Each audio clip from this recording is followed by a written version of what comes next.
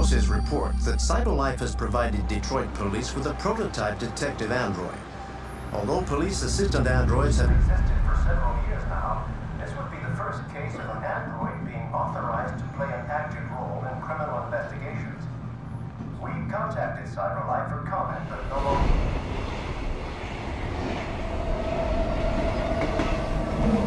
We are now approaching Ferndale Station. Please take care when stepping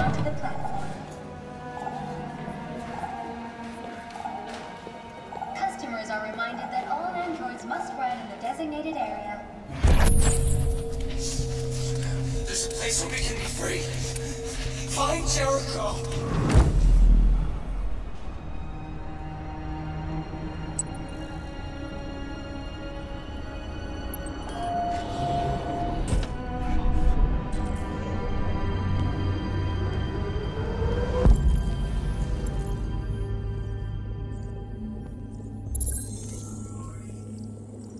They missed her. Spare some change?